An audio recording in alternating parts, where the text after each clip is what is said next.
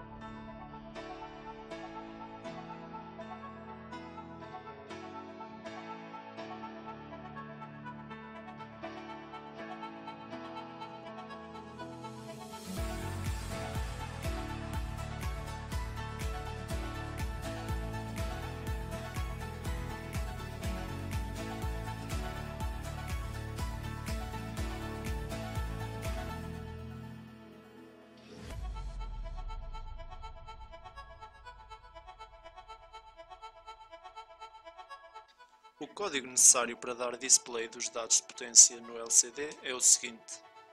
Inicialmente definimos as variáveis necessárias.